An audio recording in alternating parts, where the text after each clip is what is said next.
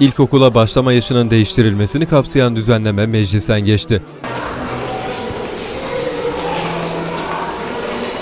Milli Eğitim Bakanlığı tarafından hazırlanan ve Meclis Milli Eğitim Kültür Gençlik ve Spor Komisyonu'nda kabul edilen eğitim paketinin içerisinde yer alan düzenlemeye göre okula başlama yaşı 66 aydan 69'a yükseltildi. Yeni düzenlemeyle çocukların okula başlama yaşının 69 ay olarak, alt limit olarak 69 ay olarak belirlendi. Eskiye göre e, biraz daha rahatlatıcı bir gelişme. Eğitim uzmanlarına göre ay hesabı yerine çocukların okula hazır olup olmadıkları daha önemli. Bizim değerlendirmelerimize göre ay hesabı yapmaktan ziyade çocukların gelişimi, donanımı okula hazır olup olmadıkları önemli.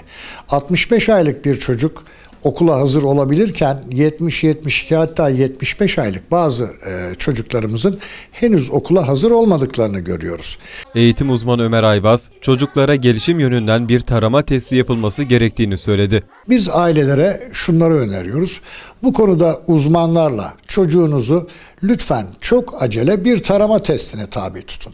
Çocuğun e, ince motor becerileri, kaba motor becerileri, dil gelişimi, kavram gelişimi, sosyal ve duygusal gelişimi, dikkat gelişimi, eşitsel dikkat ve görsel dikkat gelişimi e, konularını eğer daha önceden değerlendirirsek, buralarda herhangi bir sorun olup olmadığını belirlersek bu yaz sezonu iyi değerlendirmiş oluruz. Çocuklarımızın da okula hazır olup olmadığını belgelemek ve test etmek kaydıyla e, değerlendiririz. İçimiz rahat eder. Çocuklarımız okulda herhangi bir sıkıntı yaşamazlar. Okula hazır olmayan bir çocuğun okula başlatılması sorun olabilir. Eğer çocuğumuz okula hazır değilse bir özgüvenini kaybedecektir. Sınıfta diğer arkadaşları tarafından dalga geçirilir, e, dalga geçilebilir, onuru kırılabilir.